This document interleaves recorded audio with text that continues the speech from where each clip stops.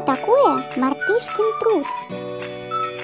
О, это когда мартышка нашла палку и начала делать селфи.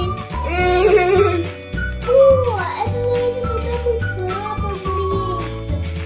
Он делает такие же мордочки. Ой, нет. Это, наверное, когда обезьяна чешется. Вот так.